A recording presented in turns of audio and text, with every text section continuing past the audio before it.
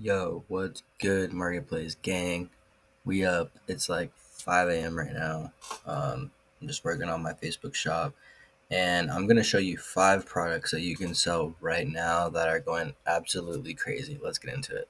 All right, guys. So this is the first one. It's kind of funny. 100 piece Joe Biden. I did that sticker.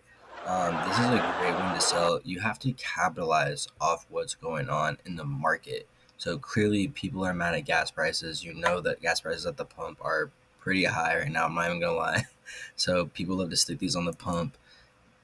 Here's another one, FJB badge. So literally, this is an example of how when you find one product, just like this in a niche, you can hunker down and find even more products all in that niche.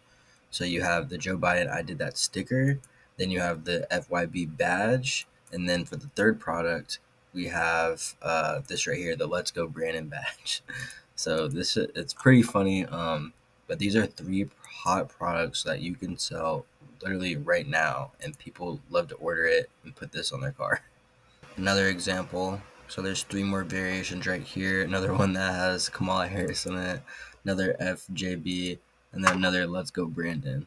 So you can list like tons of variations, and I'm pretty much going to guarantee you're going to get at least one sale. You know, I can't guarantee anything, but this is just something that's trending right now. So it's not hard to get sales because Facebook knows exactly where to advertise these products to. And people are just scrolling on Facebook Marketplace and then they just click out because their card is attached to the account.